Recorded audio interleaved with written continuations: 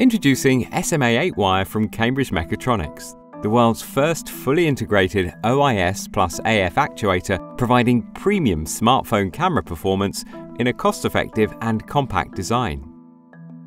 SMA wires contract when heated, generating a high force which can move heavy lenses or variable aperture components. By controlling the electrical current in eight wires, this force causes fast, precise movements of the camera lens, enabling high-performance OIS. SMA 8 wire performs OIS and AF in a single actuator, simplifying the camera module design and reducing the bill of materials. SMA 8 wire can also tilt the lens in pitch and yaw, making it possible to remove active alignment from the assembly process. Our SMA controller IC CM824 measures the resistance of the wires to calculate the lens position, providing full closed-loop control without any additional components like magnets and hall sensors.